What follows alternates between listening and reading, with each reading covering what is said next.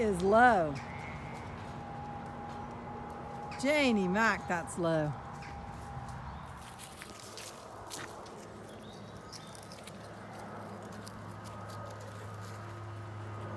It's coming again.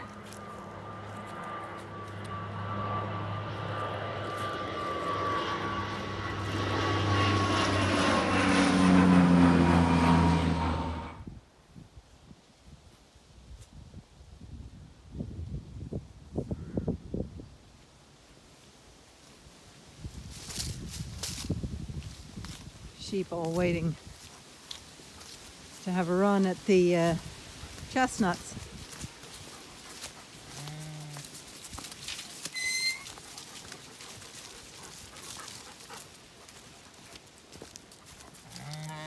So if I let you through this gate, you're gonna run through here and over the hill and down the hill. Isn't that right? Come on.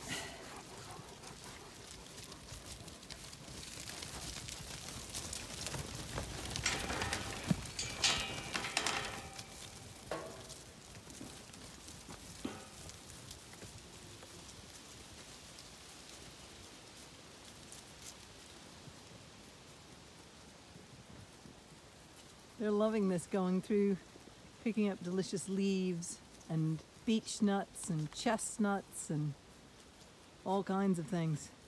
Here we go.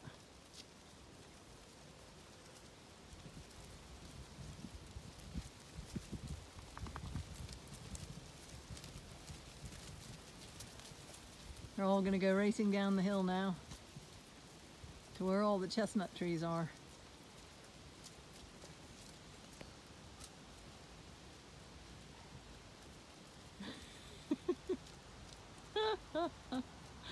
It's like children being released into a sweet shop. Quick, quick.